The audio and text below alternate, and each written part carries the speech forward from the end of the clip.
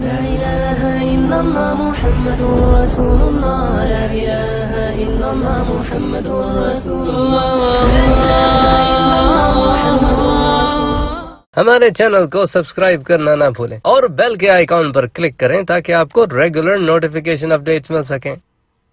سجدہ صحف کرنے کا طریقہ کیا ہے؟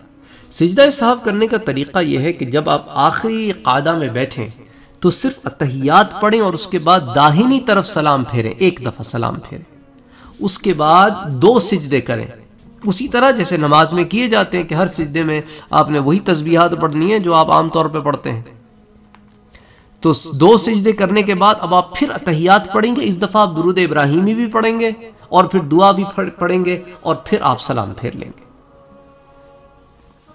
تو سجدہ صاحب ایک سلام کے بعد چاہیے۔ دوسرا سلام پھیرنا منع ہے۔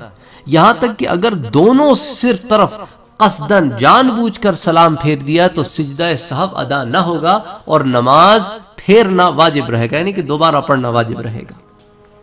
سجدہ صحف کرنے کے بعد جو قادہ ہے، اس میں بھی اتحیات پڑھنا واجب ہے۔ اس قادے میں صرف اتحیات پڑھ کر بھی سلام پھیر سکتے ہیں، لیکن بہتر یہ ہے کہ اتحیات کے بعد درود شریف بھی پڑھا جائے۔